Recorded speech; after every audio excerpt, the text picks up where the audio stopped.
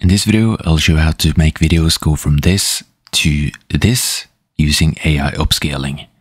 And you can find the link to the program in the description. It is completely free. And then use the GitHub link, which I found to be the fastest. And then next, you can go to the zip file and then unzip the file.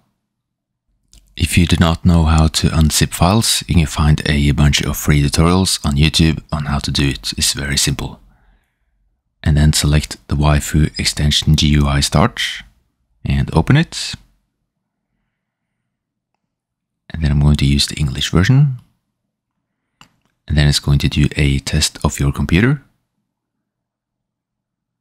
Okay. And then we're going to go to home and then you need to find a uh, file that you want to upscale. So I'm just going to add an example file, which is a cartoon file. And then I'm going to increase the resolution. This is a square video, so I'm going to set it to uh, 2160 times 2160 pixels.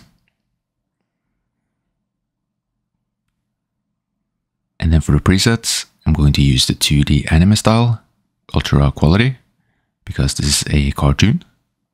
If you have a 3D video, you can just use one of the 3D presets. And then you can increase the uh, denoise level, scale, and so on. You can just experiment with the different values. You can set it to 5 for video, for example. And you can check out the documentation, which describes what each of these uh, values mean.